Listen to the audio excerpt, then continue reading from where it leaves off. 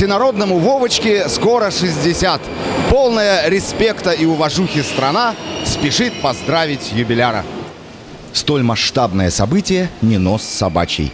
С этим вселенским счастьем россиянам жить еще как минимум 6 лет, а то и все 12. Жители не резиновые, как коренные, так и понаехавшие, полны уверенности в завтрашнем дне – а день предстоит суровый. Ведь, как убеждают адепты юбиляра, он молод и энергичен. А это значит, что нас с вами ждут новые свершения в области повышения цен, тарифов и налоговых отчислений, которые успешно растекутся по карманам прикормленных чиновников.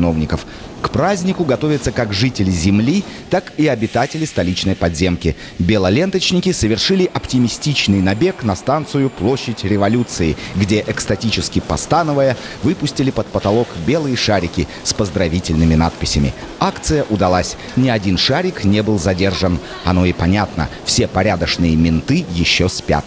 Но не беда. До 7 октября еще есть время, и каждый россиянин имеет шанс достойно встретить неумолимо надвигающуюся радость. Саша Сотник, Дмитрий Мелехин, Политвестник ТВ.